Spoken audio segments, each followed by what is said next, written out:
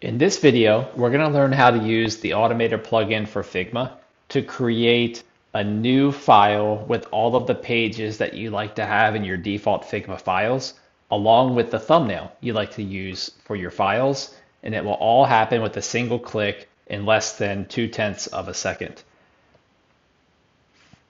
Before we get started, you need to head over to the community and install two plugins. The first plugin you need to install is Automator.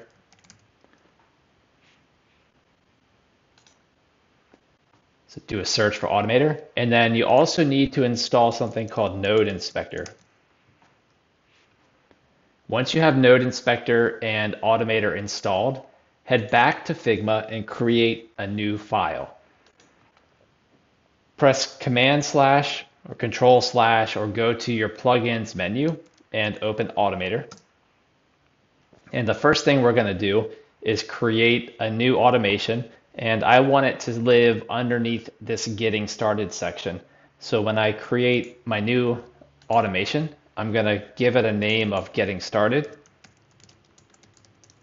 slash new file. The first thing we want to do when we open up a new Figma file is rename page one to whatever you like to call the first page of your file. It might be cover, it might be something different. In this case, I'm going to rename page one to admin because I like to have an administration file at the top of my Figma page stack, and that's where I put my thumbnail image. To do that, we need to create a new action. So what I'm going to do is use the find action. And what I need to do is configure the find action, not to find all, but to find one. And what we're going to do is find a page in the entire file where the name is page one. Now that this action finds the page, the next thing we need to do is change the name to something different. And to do that, we use the set layer name action. So I'm going to type set layer name, and you'll see it pops up here. I'm going to choose that.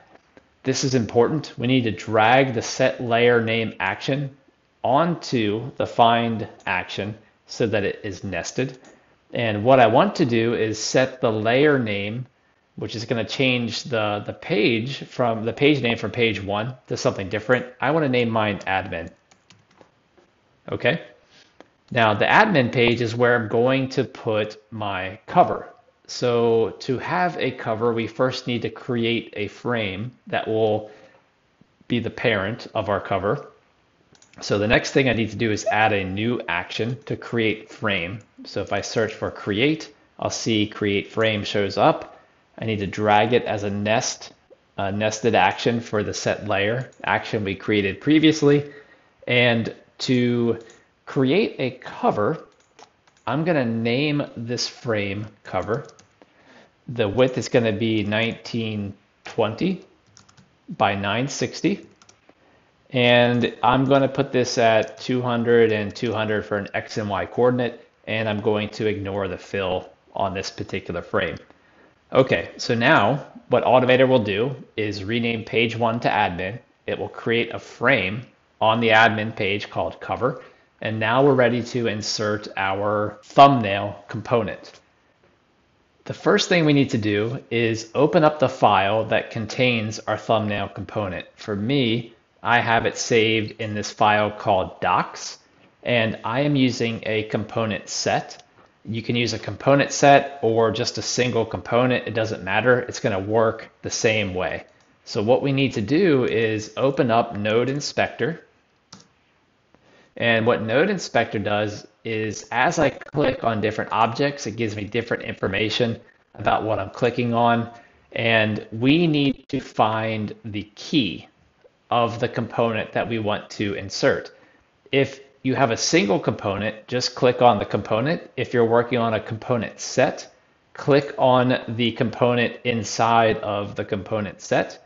And then in the Node Inspector panel, scroll down to the bottom and you should see key.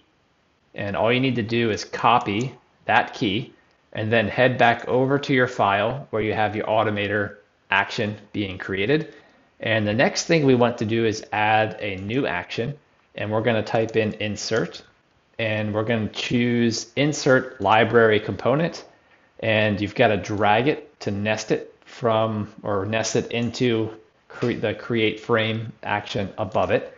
And you'll see that there's an input for key. So now if I run this action, you're going to see that it will rename page one to admin. It'll create a frame on that admin page and it will insert my thumbnail or cover component from the library on the page. And it's going to happen faster than you'll even be able to see it. So let's hit play to make sure it's working. And just like that, I've got a file created with an admin page, a cover frame, and my cover is in there. And that's great. So I'm going to delete this. I'm going to set admin back to page one, and we're going to do a few more things. Okay, so now we have our page set with the thumbnail. And what I typically do every time I create a new file in Figma after creating the, the thumbnail page is I start adding all of my standard pages. You're going to have a different set of standard pages than I do. I like to create process specific pages in my Figma file, and my process always starts with discovery. So I always create a discovery page, a user research page, an information architecture page, a visual design page, an engineering page, and a release page. And it takes a while to do that. And the great thing about Automator is that it can automate it in less than a tenth of a second. It can all be created. So what I'm going to do now is click the plus sign here, and I'm going to type in create, and then you'll see the create page action shows up. And when I click on that, I can just give this the name of the page I want, which is O1 Discovery. And I can hit Control or Command D to duplicate this action and update the second page, user research, and so on. You can add as many pages as you want, and it happens so fast that it doesn't really matter how many pages you add here. Okay, so this is really all I need. The one downside to this is that the Figma API and Automator cannot currently automatically set a particular frame as the, the thumbnail. So you still have to go in and manually right click on your thumbnail and set it. Uh, but let's let's run through this action and then see how everything is working. So I'm going to hit the back button here. You'll see that my action new file is nested underneath of get started. And when I click on it, it's going to run the action. It's going to create the admin page with my thumbnail on it. I'm going to right click on this and set as thumbnail.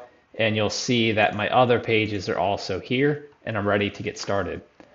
This is just scratching at the surface of what Automator can do.